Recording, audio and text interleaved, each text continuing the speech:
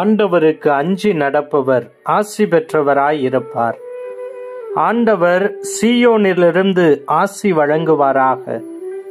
நம் வாழ்நாளெல்லாம் நல் வாழ்வை காணும்படி செய்வாராக.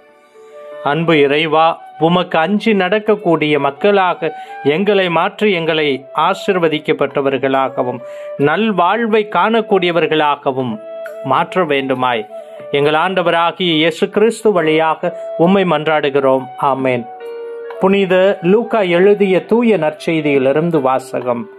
அதிகாரம் இரண்டு. உருகொடுக்கும் வார்த்தைகள் நாற்பத்தி ஒன்றிலிருந்து ஐம்பத்தி ஒன்று முடிய. ஆண்டுதோறும் இயேசுவின் பெற்றோர் பாஸ்கா விழாவை கொண்டாட எருசலேமுக்கு போவார்கள். இயேசுவுக்கு பனிரெண்டு வயது ஆனபோது வழக்கப்படி விழாவை கொண்டாட எருசலேம் சென்றனர். விழா நாள்கள் முடிந்து அவர்கள் திரும்பிய போது சிறுவன் இயேசு எருசலேமில் தங்கிவிட்டார். இது அவருடைய பெற்றோருக்கு தெரியாது. பயணிகள் கூட்டத்தில் அவர் இருப்பார் என்று எண்ணினர். ஒரு நாள் பயணம் முடிந்த பின்பு உறவினரிடையேயும் அறிமுகமானவர்களிடையேயும் அவரை தேடினர். அவரை காணாததால் அவரை தேடிக்கொண்டு எருசலேமுக்கு திரும்பிச் சென்றார்கள்.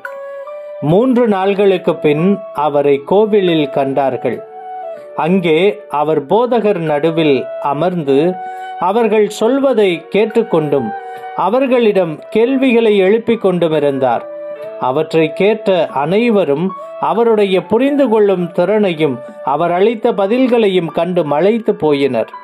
அவருடைய பெற்றோரும் அவரை கண்டு வியப்பில் ஆழ்ந்தனர்.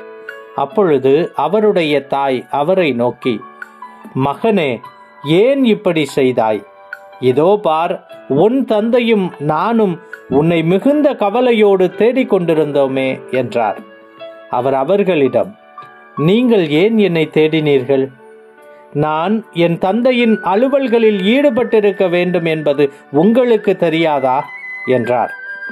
அவர் சொன்னதை அவர்கள் புரிந்து கொள்ளவில்லை. பின்பு அவர் அவர்களுடன் சென்று நாசரத்தை அடைந்து அவர்களுக்கு பணிந்து நடந்தார். அவருடைய தாய் இந்நிகழ்ச்சிகளை எல்லாம் தம் உள்ளத்தில் பதிந்து வைத்திருந்தார். இது வாழ்வு தரும் கிறிஸ்துவின் நற்செய்தி. கிறிஸ்துவே உமக்கு புகழ். இயேசுவிற்கு மிகவும் பிரியமான சகோதர சகோதரிகளே இன்று நாம் தூய கன்னிமரியா மாசற்ற இருதய விழாவை கொண்டாடுகின்றோம். உங்கள் அனைவருக்கும் தூய கன்னிமரியாவின் மாசற்ற இருதய விழா வாழ்த்துக்களும் ஆசிர்வாதங்களும். இந்த உலகிலே அதிகம் காயப்பட்ட இதயம் என்றால் அது கன்னிமரியாவினுடைய இதயம் என்று கூறுவது உண்மையானதாகத்தான் இருக்கும். ஏனென்றால் எப்பொழுது இயேசு பிறந்த பொழுது காணிக்கையில் காணிக்கையாக கோவிலில் ஒப்பு கொடுக்கப்பட்ட பொழுது சிமியோன் சொன்னாரோ உன்னுடைய இதயத்தை ஒரு வாழ் ஊடுருவி பாயும் என்று. அப்போதிலிருந்து தன்னுடைய மகனை தன்னுடைய இறந்த மகனுடைய உடலை தன்னுடைய மடியில கிடத்தி கொண்டிருந்த பொழுதும் சரி பல்வேறு விதமான துன்பங்களை அவருடைய இதயம் சந்தித்திருந்தது. அப்படி இருந்தும் நம் ஒவ்வொருவர் மீதும் அன்பு கொண்டிருக்கின்ற ஒரு இதயமாக இருக்கிறது கன்னி மரியாளினுடைய இதயம். முன்பு ஒரு முறை இங்கிலாந்து நாட்டிற்கும் ஜெர்மனிக்கும் போர் நடைபெற்றது. அப்பொழுது இங்கிலாந்து நாட்டை சேர்ந்த படை வீரர் ஜெர்மனி நாட்டு படை வீரரை கொன்று விடுகின்றார். பிறகு இறந்தவரினுடைய முகவரியை எப்படியோ கண்டுபிடித்த அந்த இங்கிலாந்து நாட்டு படை வீரர் அவருடைய வீட்டிற்கு கடிதம் எழுதுகின்றார். அன்பு அன்னையே உங்களுடைய மகனை போரிலே நான் கொல்ல நேர்ந்து விட்டது. தயவு செய்து என்னை மன்னித்து விடுங்கள் என்று கடிதம் எழுதுகிறார். இந்த கடிதம் கிடைக்க பெற்ற உடனே அந்த தாய் இதை படித்து பார்த்துவிட்டு பதில் கடிதம் எழுதுகிறார். அன்பு மகனே நீயும் என்னுடைய மகன்தான். நான் உன்னை மனதார மன்னித்து விட்டேன். போர் முடிந்த பின்பு நீயும் நானும் உயிருடன் இருந்தோம் என்றால் நீ கிளம்பி வா. என் இல்லத்தில் கூட நீ வாழலாம் என்று பதில் கடிதம் எழுதுகிறார். இரு இயேசுவிற்கு மிகவும் பிரியமான சகோதர சகோதரிகளே அன்னை என்பவள் எப்பொழுதுமே அன்புள்ளவள் மன்னிக்கும் குணம் கொண்டவள். அதைதான் இந்த நிகழ்வு நமக்கு தெளிவுபடுத்துகிறது. ஒரு மன்னக அன்னைக்கு இவ்வளவு இருக்கிற பொழுது விண்ணக அன்னை உலக அரசியாக இருக்கின்ற நம்முடைய கன்னிமரியாவிற்கு நம் மீது எவ்வளவு பாசம் இருக்கும் என்பதை நாம் புரிந்து கொள்ளலாம். இறையேசுவிற்கு மிகவும் பிரியமான சகோதர சகோதரிகளே இன்று நாம் விழா எடுக்கின்ற மரியாளின் மாசற்ற இருதய விழாவானது இந்த பக்தி முயற்சி கிபி பதினேழாம் நூற்றாண்டிலேயே தொடங்கப்பட்டதாக ஒரு சில வரலாறுகள் இருக்கிறது. அதன் பின்பு படிப்படியாக வளர்ந்த இந்த பக்தி முயற்சி பின்பு ஆயிரத்தி தொள்ளாயிரத்தி பதினேழாம் ஆண்டு ஜூன் மாதம் பதிமூன்றாம் தேதி அன்னை மரியாள் அந்த மூன்று சிறுமிகளுக்கு காட்சி கொடுத்தார் அல்லவா? ஜெசிந்தா பிரான்சிஸ் மற்றும் லூசியா என்பவர்களுக்கு காட்சி கொடுத்தார் அல்லவா ஃபாத்திமாவிலே? அப்பொழுது அவர்கள் இந்த பக்தி முயற்சியை பரப்பும்படி அவர்களிடத்தில் கேட்டுக்கொள்கிறார்.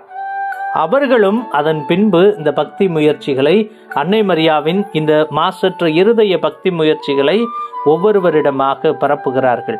அப்பொழுது காட்சி கொடுத்த அன்னை தூய லூசியாவை பார்த்து கூறுகிறார்.